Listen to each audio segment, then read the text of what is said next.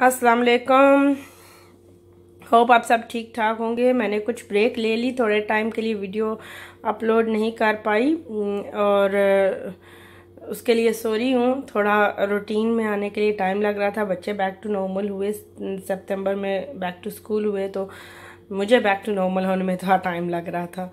तो इन अभी आपको मायूसी नहीं होगी। आपको इन ज़रूर टाइम पे वीडियोस देखने को मिलेंगी। और अभी कुछ बारिश का मौसम हो रहा है और थोड़ा क्लाउडी सा और वेदर चेंज हो रहा है तो ख़ज़ा का मौसम है, शुरू हो रहा है तो इसकी वजह से मैं मैंने सोचा कि कुछ डिफरेंट बनाते हैं। हर बार बारिश में पकोड़े या समोसे या बनाते हैं तो इस बार कुछ डिफरेंट बनाते हैं। आज मैं चिक पीस के साथ टिक्कियाँ बना रही हूँ। उनको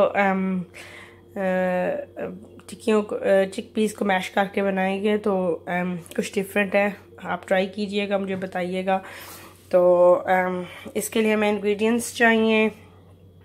चिक पीस चाहिए चने, सफ़ेद, उबले हुए उबले हुए चने और ये प्लान फ्लावर है। ये two two and half tablespoon है। प्याज है, छोटी छोटी वाली प्याज एक ली है, उसको बहुत बारीक बारीक काटा है। ग्रीन चिलीज़, एक टीस्पून के करीब हैं। टू टेबल स्पून सब्ज़ धनिया है, फ्राइंग के लिए ये कुकिंग ऑयल है, वेजिटेबल ऑयल में यूज़ करती हूँ। ये खुश्क पिसा हुआ धनिया ये हाफ़ टी स्पून है, ज़ीरा सफ़ेद ज़ीरा हाफ़ टी स्पून है, नमक हाफ़ टी स्पून है, curry powder half teaspoon है और red chilli powder half teaspoon है और ये हल्दी जो है ये भी हाफ़ टी स्पून है। सो आप मसाला इसको कम और ज़्यादा कर सकते हैं। डिपेंड करता है आप जो मिर्चें खाते हैं वो कितनी स्पाइसी हैं तो आप उसको कम या ज़्यादा कर सकते हैं अपनी मर्ज़ी से मसाले। तो अभी ये बनाना शुरू करते हैं। सबसे पहले एक, मैंने बॉल लिया और उसमें मैं चिकपीस डालूँगी। और इनको जिस, जैसे इससे आलू मैश करते हैं, वैसे ही इसको ऐसे चिकपीस को मैश कर लेना है, ठीक है?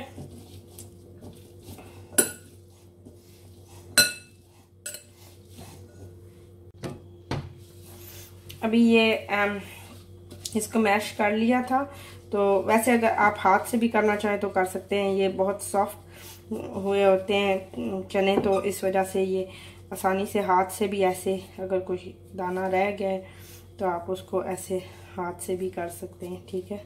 अगर थोड़ा थोड़ा नज़र भी आ रहा है तो नहीं है। अच्छा अब इसके अंदर हम डालना शुरू करेंगे सारे मसाले। हल्दी डाली।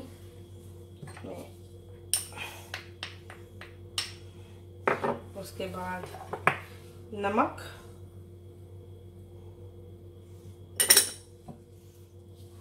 और ज़ीरा, पाउडर, लाल मिर्च।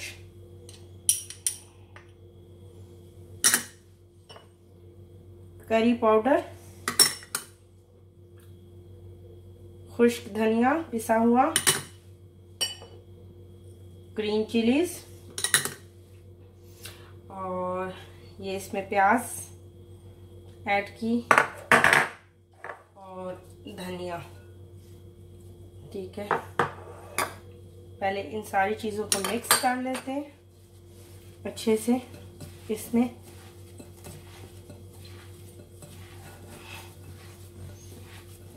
हाथ से ऐसे अच्छे से सारे जगह मसाला जो है वो सारे मिक्सचर में अच्छे से मिक्स हो जाए। और इसको हाथ से ऐसे जैसे गूंदते हैं, आटा गूंदते हैं जैसे, ऐसे इसको अच्छे से गूंद लेना है, ठीक है?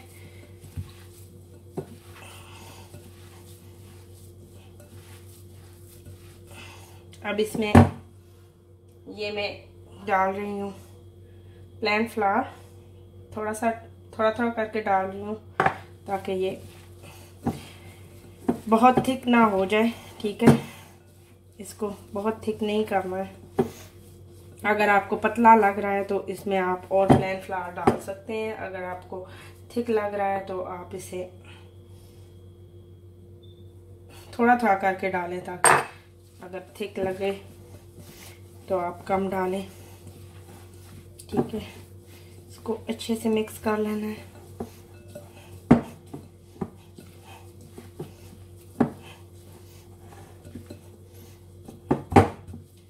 ये मसाला रेडी हो गया अभी इसकी टिक्कियाँ बना लेनी है, ठीक है।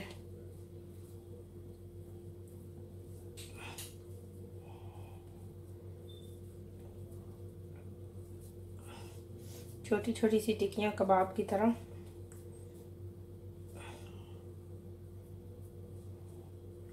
ऐसे इसको अच्छे से दबा के, जोड़ के। और ये टिक्कियाँ बनाते जाना है।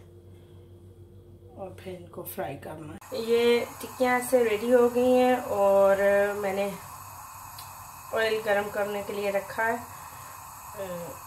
और अभी इनको फ्राई करना है, इसको डीप फ्राई नहीं करना है, ठीक है?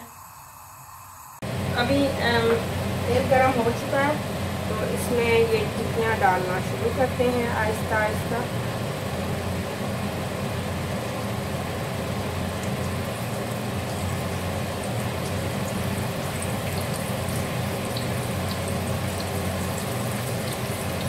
इनका टेस्ट बिल्कुल ऐसे होता है जैसे बेसन की रोटी बनाते हैं बेसन की रोटी या तरफ़ से रेडी हो जाए तो इनको साइड चेंज करते जाना है। हल्का सा गोल्डन ब्राउन करना है। रेडी हो गए हैं तो इनको अभी आहिस्ता आहिस्ता हम निकाल लेते हैं, आराम से। हो चुके हैं।